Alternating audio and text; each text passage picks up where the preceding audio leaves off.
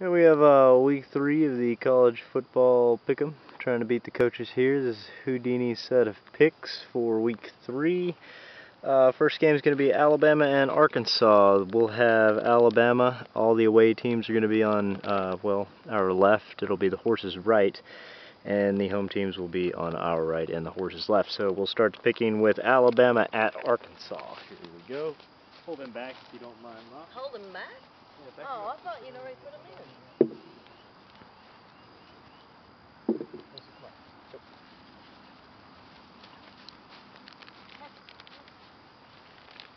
Which one do you want today?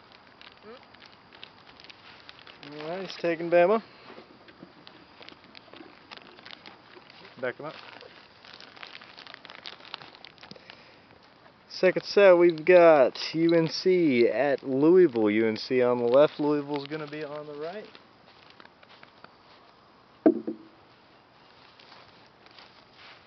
There you go.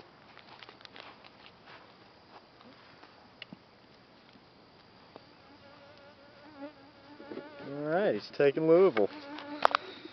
Louisville at home over the Tar Heels.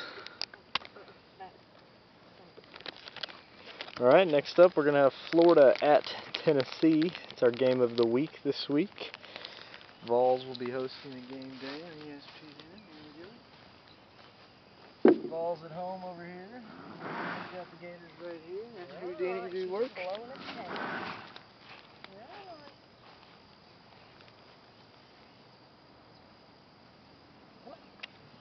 Ding. Hey, not him. Come on, pick one.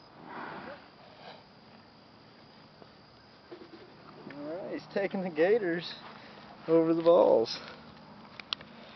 I know you were a Gators fan. Not gonna make any friends like that. Alright, next up we got USC and Stanford. USC will be on the road. This side, Stanford over here. Pay attention. Pay attention. Pick one. Don't care which one, pick one. He's gonna take Stanford, an upset over the Trojans.